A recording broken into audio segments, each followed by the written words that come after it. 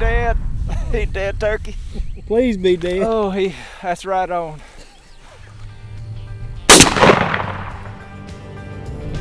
Just got off the phone with old B Masters himself, and we are both headed south. We got picked for a little public land draw hunt, it's a four-day hunt. Uh, we booked the hotel for two nights because we're just gonna get it done this weekend, you know. Y'all hang in there with us. Uh, we'll catch y'all back here as soon as we jump in the woods. Uh, get the get the stout. Welcome back, y'all. This one's gonna be a good one, so y'all sit back, relax, and enjoy the ride. Spin around and go get the buggy. Come in here so we can press forward. Here. First evening. Gonna listen. We've done seen three or four big old hogs. I'm talking about Meemaw monsters. We got another 45 minutes to an hour or so.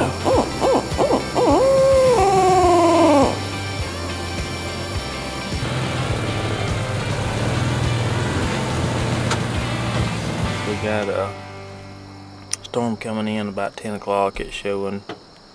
Um, it come through back up home, central of the state and all that stuff.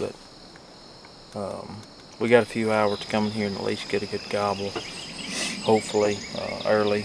Listen, pin something down because right now we ain't got nothing to go off of other than a few tracks and some decent looking properties. So.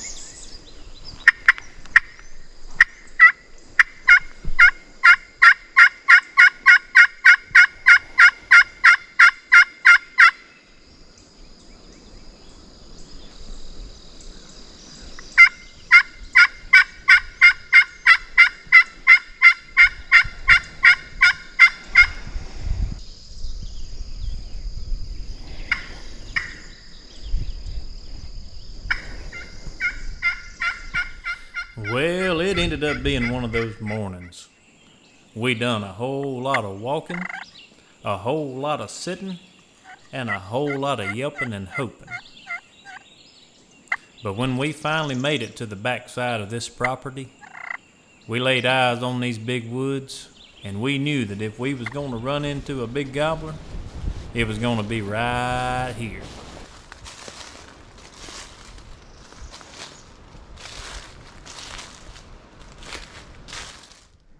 Found a real nice spot just after lunch today. Come back in here to see if we can't hear one. Just had one fly up. Right over there. In this bottom that we're sitting on. It's close. Definitely a turkey. Hopefully he'll gobble a couple times so y'all can hear him. It's definitely a fly.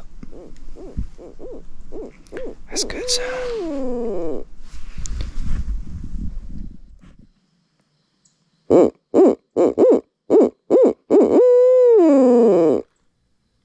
I thought I may have heard one right here. So I got my phone out and sent old Horton a text message. Told him to get his ears on.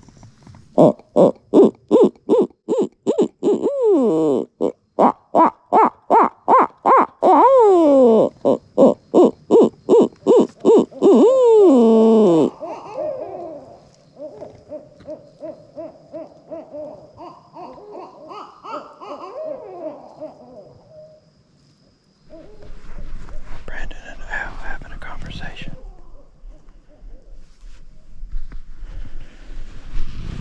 I actually think it's two owls. I'm pretty sure I just heard one gobble off to the left.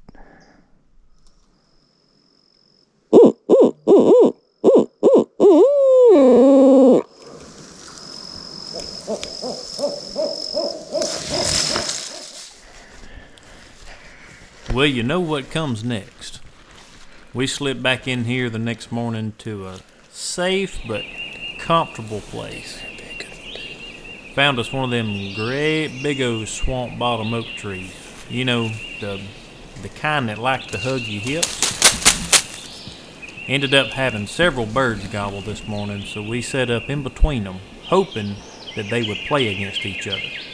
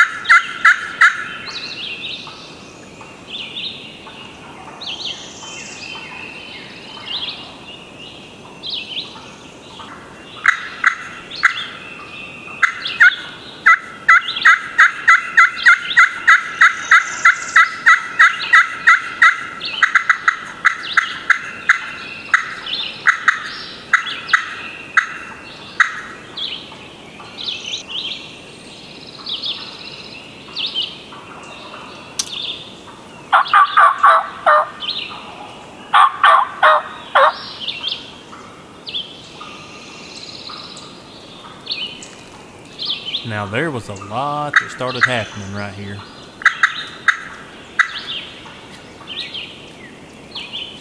Here one drumming over here. This hen started clucking, and she didn't stop for six or seven minutes.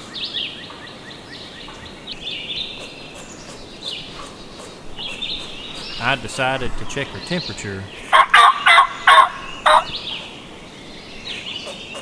But in my opinion, she showed no signs of aggression. She just wanted these old boys to know where she was at.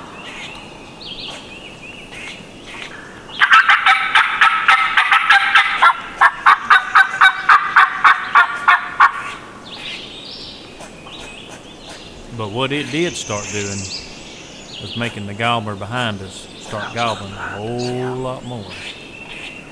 So we devised a plan.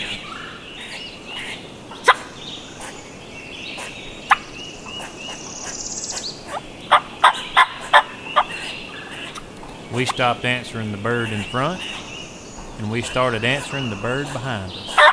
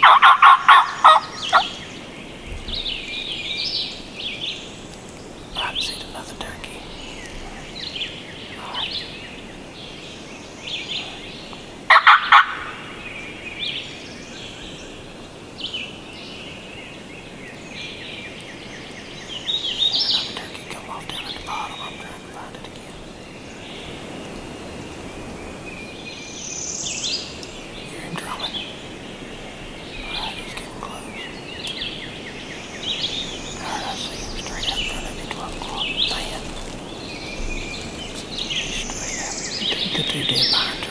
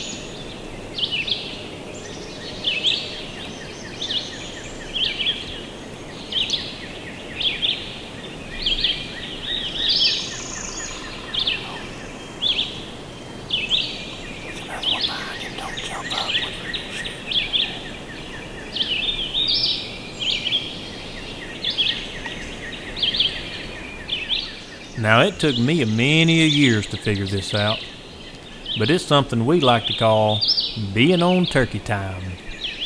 Now, what you'll see right here is the dominant gobbler that is steering a subordinate gobbler in the direction that he wants him to travel.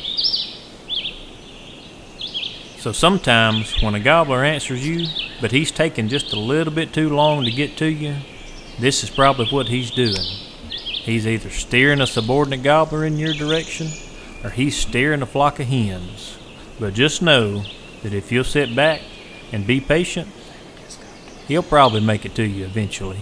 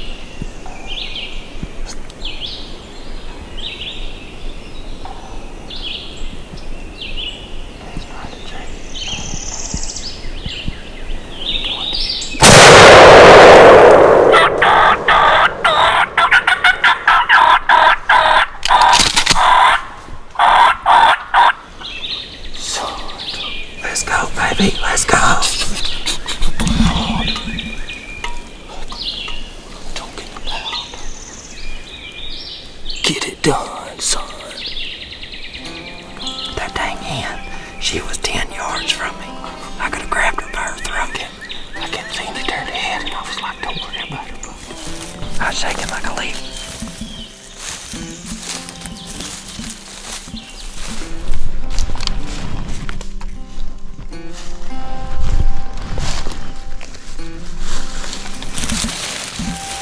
Let's go, baby.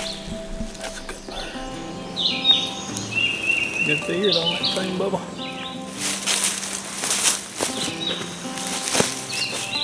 So what'd you think about it overall? Was everything you hoped it'd be? Yeah, yeah. I mean, it was an awesome experience. I mean, like you said, just the whole getting to see him, you know, strut. You know, yeah, we didn't get the close-up gobble, but I mean, we had, I don't even know, three, six, you know, at least six different birds gobbling this whole morning. You know, um, and these birds, you know, were relatively quiet once they started coming this way. You know, we didn't ever, th- we thought they were actually leaving us this morning. What are the topics that you think ultimately made us successful? Well, one, putting in, putting in the work. That's number I mean, one. Every, every turkey that you're successful on, in some way, shape, form, or fashion, for me, it's going to start with homework. I, I wouldn't hesitate to say we put four or five miles on our boots. I mean, we didn't even find this place until yesterday, and that was a, you know, it was it was it was heartwarming to find it. Up until that point, we were extremely discouraged. Absolutely. I mean, we had seen a lot of habitat that wasn't turkey habitat. It started raining, you know, well, the night before we didn't hear anything. We, you know, we, we scouted, we scouted, we scouted, we didn't hear, didn't really hardly see anything. We didn't hear nothing, you know, we were basically going in blind. That morning, you know, our first morning, opening day, just again, silent, not hearing anything. Yeah. So that's discouraging. Then the rain starts. We got this big storm pushing in, and um, you know, we chose to go back, take a nap, get a little rejuvenation in us. Yeah. And I mean, you know, when the when the storm passed at 11 o'clock, we said, "Do we even want to go back?" Yeah. Neither one of us really wanted to go. We didn't want to go, but we both, you know, both had the same opinion without saying. Yeah. We know we got to go. Yeah. And That's the only chance we had at that point. Right. And, and so, you know, we come out here 85 degrees, dying, Hot, and windy, no you can't hear nothing. right. And um, just, just, I mean, this part of the property, it took me three years to, to get, and, and I know it was about the same for Brett too, you know, but having these, um, helping hunts where other people are with you, I mean, obviously it, it gets things, um, stuck in your mind that you see. But Right. There's no better teacher than Mother Nature herself. Right. You know, learning the hard way, learning those lessons and figuring out why they did what they did.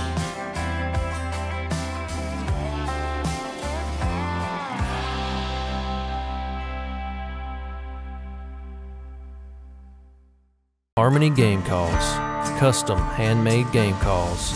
You can find us on the web at www.harmonygamecalls.com.